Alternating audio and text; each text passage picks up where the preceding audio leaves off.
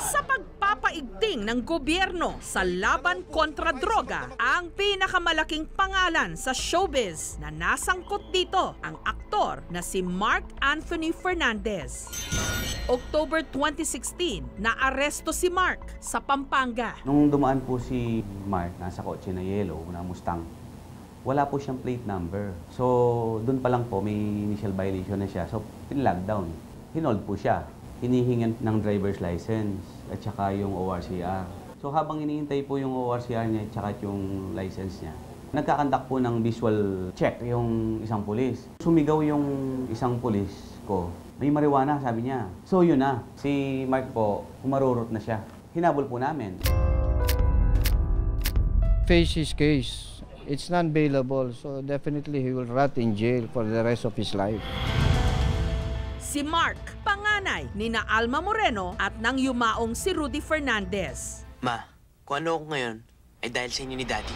Unang nakilala bilang bahagi ng Guapings. Naging matinee idol at kinakitaan ng husay sa pag-arte. Hoy, Noy! Ang galing-galing mo talaga! Sabi ko sa'yo eh! Kaya mo sila! Sa kabila ng kanyang showbiz breaks, bukas na libro naman sa publiko ang mga pinagdaanan niyang pagsubok at di umano pagkalulong sa bisyo. Ang dami mong pinagdaanan, Mark. You came from the rehab. What was the best lesson you learned? that chemical stuff really fries your brain. Hanggang nauwi nga siya sa kulungan noong taong 2016 matapos ang mahigit isang taon sa loob ng bilangguan. Nito lang Disyembre, na-dismiss ang kaso ni Mark. Napawalang sala siya sa kasong possession of illegal drugs and illegal paraphernalia. At tatlong araw lang bago nung Christmas, siya'y nakalaya. Anak, anak, anak ko, kailangan magpasalamat tayo maigi sa Panginoong Diyos. Matutupad na rin ang mga pangarap natin. ang mga tinitingalan nating artista. Katulad din natin, hindi perpekto ang buhay. Meron ding mga pinagdadaanang pagsubok. Ang ating mga lodi o idol sa itsura at talento, pwede rin nating panghugutan ng leksyon o inspirasyon kung paano bumangon at lumaban. Kasama ang kanyang ina na si Alma Moreno. Nakapanayam ko si Mark Anthony. Mark, una sa lahat, thank you ha. Salamat sa interview na ito. Thank you for having me also, Miss Jessica. Kamusta ka na? Sa awa ng Diyos, maayos naman po. Healthy naman po ako. Masaya naman po yung damdamin ko po sa awa ng Diyos. Hindi ka trauma o wala kayong mga pinagdaanang hindi maganda doon? Yung buong proseso po, medyo talagang ah, low time para sa akin. na medyo traumatic din po para sa akin. Yung buong lahat ng yun. Yung, pero sa awa ng Diyos na nalagpasan ko siya. Paano kanila trinato doon? Maayos naman po. Hindi naman po sila parang siga-siga o yung para sa mga pelikula.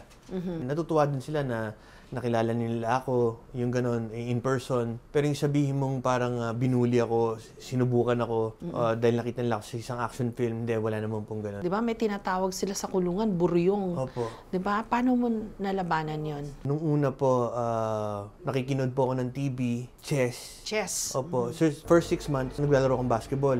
Masabi ko, mag-chess na lang muna ako. Naging chess yung outlet ko doon, nood ng TV, Bible study, yun po, prayers. May naging kaibigan ka ba sa loob? Opo, opo. Mga ilan-ilan po yung talagang close friends ko po. Ah, kamusta? Sino-sino yung mga yon? Bale, isa po doon si Melvin, isa po doon si Archie, si Ka Benji ng Iglesia ni Cristo, yung isa po si Kim. Bale, yung isa doon, may- ano siya, kawawa nga po, eh. inatake po sa loob.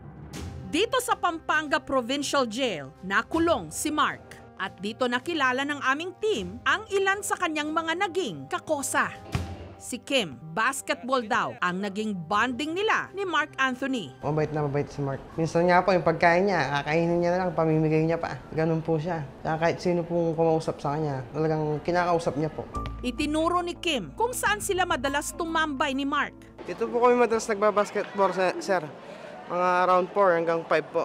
Si Melvin, na ayon sa kwento ni Mark, hirap maglakad matapos ma-stroke. Ikwinento na si Mark ang tumulong sa kanya para siya'y makapag-exercise. Kasi kailangan ko yung practice para makalakad ako. Sige, tulungan kita, sabi niya. Para makalakad ka ng gusto, alisin mo yung saklay mo, sabi niya. Hawakan mo itong wheelchair. Sasakay ako. Ikot tayo ng ikot dyan. Ngayon naman, pagkatapos namin umikot, o kuya, pahinga ka muna. Kwentuhan muna tayo. Si Ka Benji naman, ang tumayo raw spiritual advisor at ama-amahan ni Mark. Malungkutin po siya, hindi siya nakikipag-usap. Saka sensitibo siya nung panahon na hindi ko pa siya nakakuha. Sinabi sa kanya, wala kang kaso. Binigyan ko agad siya ng pampalakas ng loob kasi napansin ko sa kanya, medyo nadidepress siya. Inintegrate ko yung spiritual advice sa kanya. So pinanalangin ko siya. Medyo naramdaman ko na medyo naunawaan niya yung panalangin. At kalaro rin sa chess. Naiinip siya. Sabi ko, hindi ako marunong maglaro ng chess eh. Hindi, ganito lang yan. Yung mga basic mo. Bandang uli, eh, siya na yung lagi natatalo. sa, sa loob ng isang araw, eh, pinakamababa, anim na beses siyang pumupunta rito. Kain kayo! Kain kayo! Ah, Marie, gusto mong kuha kita pagkain? Yung pagkain doon, kinakain mo? Matino naman po, matino naman po. Pero swer, Ah, swerte din po na. ako na Oo. nagkaroon po ako ng nanay na isang Alma Moreno. Buti lang po, napapadalan po niya ako ng pagkain. Paano mo nagawang maging matatag sa loob ng kulungan? Yung mama ko, nagpapatatag sa akin. Talagang yung mga words of encouragement niya, pag sinasabi niya sa akin, tumitibay po ko. Tapos syempre po yung asawa ko po, sabi ko, ito yung oras na kailangan mo talaga magpakalalaki. Mhm. Actually, yung lakas doon, yung sinasabi mong lakas, para lakas na lang mabuhay sa araw na yun eh. Mhm. At Parang, parang ganun, araw... i- iraos mo na lang ah, yung araw talaga? na yun May eh. ganun kang mindset na kailangan itawid mo lang tong araw na ito. Opo. Yung, yun, katulad ng, kunwari, sinabihan ka ng mama mo, magpakatatag ka, yung araw na yun, parang yung bala mo na, yung sinabi ng mama mo yun, pang ano yun, one week. Nay? Sorry po.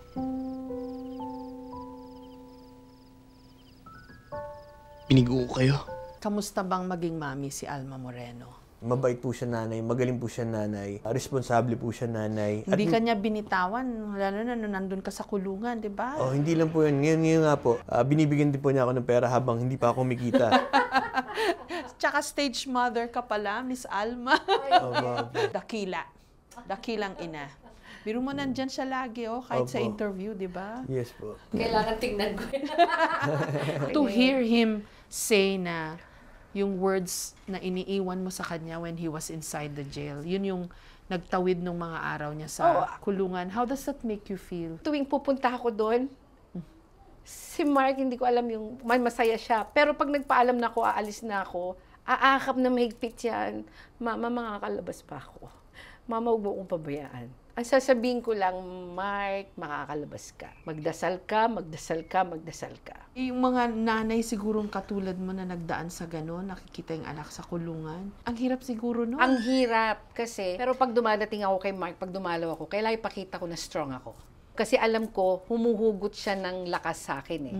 Kaya pagdating naman sa kwarto o sa akin, sobrang lumuluha ko. Firstborn mo si Mark. Masasabi bang sa kanya ka rin pinaka na-challenge siya sa mother? Oo, tsaka siguro din inamin ko rin na may pagkukulang din ako that time. Kasi yun yung mga time na naging magulo din yung buhay ko noon. Naging busy ako, yung height ng career ko, nandun pa rin. Si Mark bit-bit ko, tapos nagkahiwalay kami. So baka yun ang mga dinala niya. Kumbaga lahat yung mga experience ko na hindi magaganda, si Mark lahat nakita niya. Kahit ayaw ko pakita sa kanya umiyak ako, nakita niya lahat. Siguro, sabi ko ito rin siguro yung mga isang pinagdaanan ng anak ko. Kaya ngayon, sobrang pasasalamat na binigyan uli ng chance, binigyan kami uli na magsama-samang pamilya. Yun na lang na sana tuloy-tuloy Hoy! Kilala mo ba kung sino ko? Oo, oh, Carlos, oo! Alam ba kung gaano kalaki kasalanan sa akin? Sampung taon ako nakulong nang dahil sa'yo! Naalala mo pa daddy mo? Oo naman, siyempre. Actually, nag-send din ako ng prayer nga pala sa kanya dati. Sabi ko, pa ako nasang ka man, tulungan mo ako, tulungan mo ako, ilabas mo ako dito. Takot pa rin pala sa inyo mga siga dito. Nasindak lang kaya hindi lumaban. Eh kahit pumalag sa atin yung mga yun dito eh, kayang-kaya natin dalawa yun. Ano? Ay, dalawa? Ibig sabihin, kayang-kaya nyo. Ano yung mga memories mo of your dad na hindi mo malimutan? Yung mga na- nakatulong din sa'yo nung nandun ka sa loob? Yung mga pelikula na nakukulong siya, parang nagagamit ko din motivation yon. Baby ama, Ganun. di ba? Opo, opo. Oo. So, yung, nag- yung mga post na talagang nandun ka lang sa kulungan, ginakopya mo na lang yung napanood mo sa pelikula. Parang ganun. Ako si May ganun. ganon. May ganun factor. Natawa lang ako dun sa habang nandun ka sa kulungan, eh, china-channel mo o ginaya mo yun yung... motivation. Para lang po matanggal yung takot. Para maging matapang ka. Mawala yung spirit mo sa takot. Baliktad yun eh, di ba? Sa showbiz, huhugot ka ng karanasan sa katotohanan, sa reality. Ikaw nung nandun ka sa kulungan, yun Kabaliktaran. yung reality, humuhugot ka ng inspirasyon sa mga pelikula. Kumbaga parang maarte lang din. Chemical stuff really fries your brain. Pero Mark, pasensya ka na ha. Nung nahuli ka, sabi mo, wala kang kasalanan nun. So parang napag-initan ka. Pero Mark, di ba dati pa na babalita na na may problem ka sa drugs? Thank you din po na tinanong niyo po yung tanong na yan. Dahil gusto ko po mawala yung stigma na si Mark Anthony Fernandez isang nag-addict o naging drug dependent nung araw.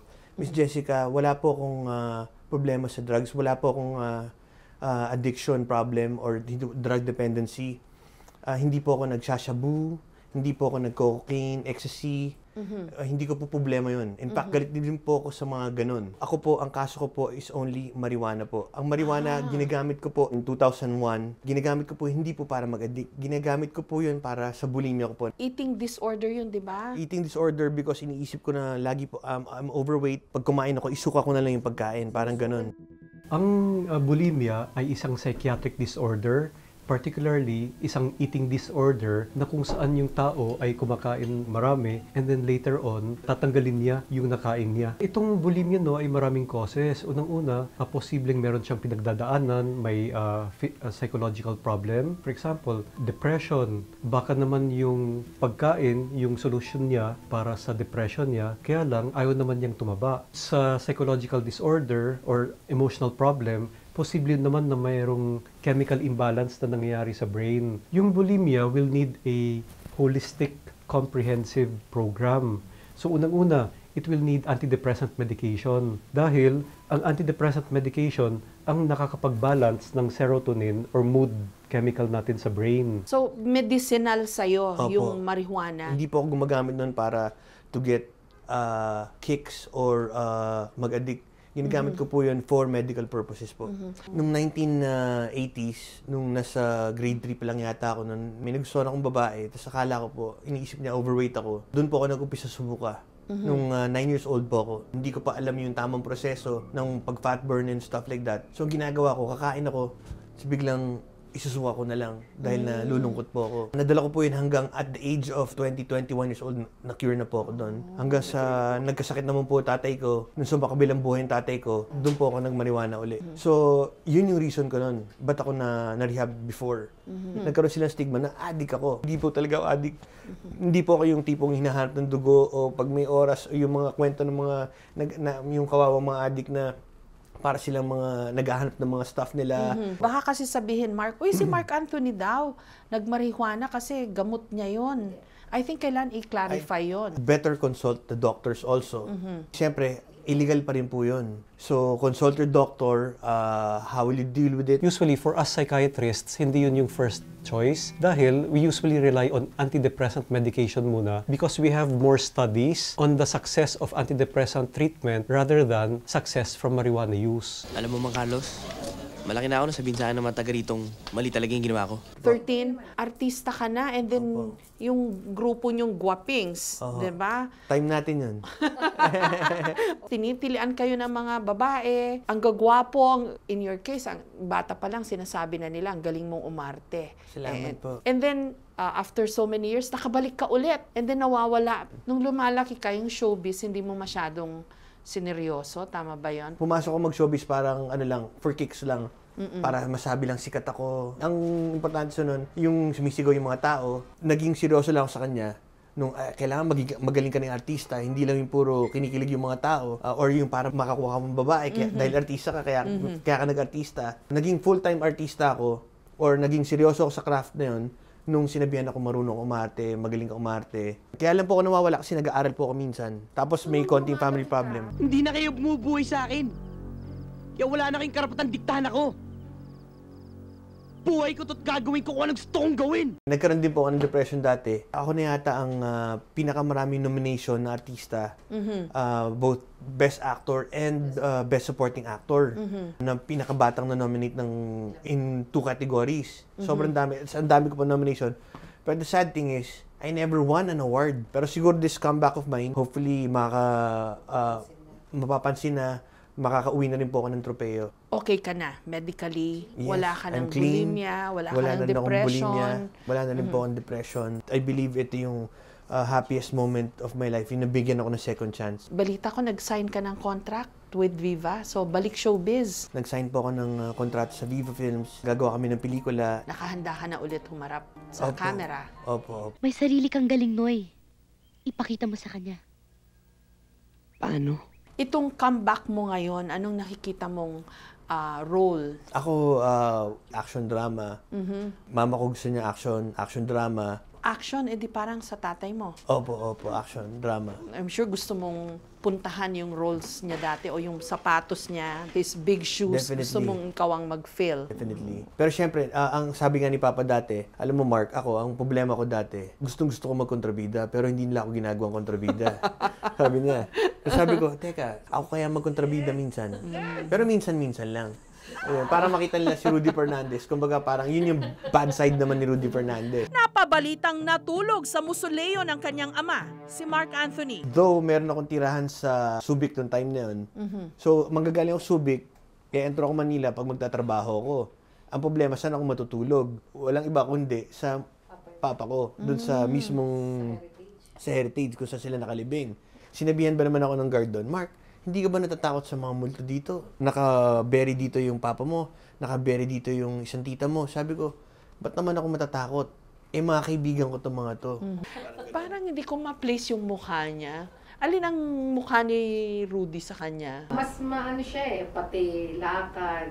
Lamang sa Rudy Fernandez yan eh. More than sa'yo, no? Ah, sa akin. Talagang Rudy Fernandez, kung lumakad, nakatalikod, yung patingiti at saka yung pagka-conscious, pagkaupo sa kotse, may salamin, di ba, baba? Ayan. Totoo ba yon Kayo uli ni Mark Anthony Fernandez? I'm not sure kung siya yung makakasama ko, but I think we will be doing uh, a movie or a show, pero hindi pa kaagad-agad. Si Claudine, na-interview ko last week. Pagpa-partnerin daw uli kayo for a project, tama ba yan? Yes, yes. Oo. I am very honored to work with Miss Claudine Barreto. Pakiramdam ko matutupad na lahat ng mga pangarap ko. Baka bumalik daw yung nung mga ano pa kayo, teenager, yung syempre alam mo naman 'di ba, yung mga fans, mga love team noon, 'di ba? May kilig pa rin yun syempre. Siyempre, ako, lagi kikiligin, ako, ako kahit ako ginagawa eksena, kinikilig ako, lalo na pag maganda yung script. Ako lang naman nagtsatsaga sa'yo eh. Kaya, ganun. i-conjugate mo na ang kirer. Ah, ganun ha? Fact o fake? Yung mga na chismis na Ah. meron daw mga policewoman. Naawa nga po ako sa kanila, ano po eh, parang naging biktima sila ng fake news. Kumbaga, nagpa-picture po sila sa akin, tap, noon, nagpa-picture sila sa akin noon, tapos yun, biglang ginawa ng chismis, bigla, na nabuntis ko daw po sila. Eh, Mhm. which is hindi naman po to, totoo. Mhm. Nakakaawa nga po. At nahiya din po sa nila. At Sana saka okay may na sila. misis ka, di ba? Opo, meron po. Kamusta? Meron po. Kamusta ang buhay asa may asawa mo? Ayos naman po. May Ganun. mga anak ka rin, di ba? Opo. Kamusta yung mga anak mo? Maayos naman po sila. Yung pinakabata ko po, nasa 1 year, 5 months. Itong yugtong ito, tuloy-tuloy na kaya ito? Ito, Miss Jessica, tuloy-tuloy na. Number one, mahal na mahal ko na rin talaga po ang ah, industriya natin, ang sining. Pangalawa, itong bumubuhay sa amin. Mhm. And I really love, love the job. And, and oh, you know, one thing that also taught me how to love the job was GMA. Dami mo nang pinagdaanan, Mark, no? But when you look back dun sa mga ganong experience, how do you feel about it? Masakit, masakit. I feel the pain. Sabi ko, kung ulitin ko, ayoko din pagdaanan yung mga yon. Kahit na it made me stronger, ayoko pagdaanan yun. Mahirap talaga na napakatakot, nakakatakot din talaga. Anak, walang taong nabuhay na hindi nagkamali. Miss Alma, ano masasabi mo dito sa stage na ito ng buhay ni Mark? Comeback siya, but after so many experiences. Ito na yung totoong Mark. So, paulit-ulit na pasasalamat sa Panginoon na binigyan ng isang chance si, si Mark Mhm. na makabalik siya. Sabi ko lang sa kanya, Mark, sana tuloy-tuloy na yung, yung Mark na yan, yung pag-love mo sa trabaho, huwag mo nang pabayaan. Yung paghihirap mo ng one year, na nakulong ka for one year and a half, siguro may dahilan yan kaya nangyari. Kinato ka, ginising ka. Na totoo naman. Si Mark, tuwing may event, may family gatherings kami, Christmas, birthday ko, si Mark lang ang wala. Tapos yung nakalabas siya ngayon, naging close uli silang magkakapatid. Miss Alma, naniniwala ka talaga na from something bad, like yung mga hindi magandang karanasan ni Mark, something good will come out. Alam ko po yun. Kasi nakita ko kay Mark kasi alam ko mabait na bata si Mark. Bilang nanay, minsan hindi rin ako perfect. Pero tulungan niyo po ako. Then hindi ko na rin alam ang gagawin kasi nawala pa si Rudy. Nung nakulong siya, hindi ko alam anong gagawin ko.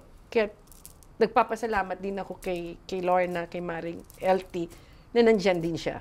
Thank you. Sa mga kaibigan namin, maraming salamat doon sa mga taong tumulong sa amin. Ang mga naging kaibigan ni Mark sa kulungan, nagbigay rin ng mensahe sa kanya. Binabati kita sapagkat ah, katulad ng sinabi ko sa'yo, paglabas mo rito ay magkakaroon ng panibagong kapayapaan ng buhay mo. Basta huwag kang makalilimot sa Diyos. Ano yung pwede mong i-share din ng mga lessons learned, yung mga insights, perspective sa buhay? You always have to have a connection with God and never doubt Him. Sa mga kabataan, stay away from drugs. Walang itutu- idudulot na maganda sa inyo yung drugs. Lahat na sobra masama.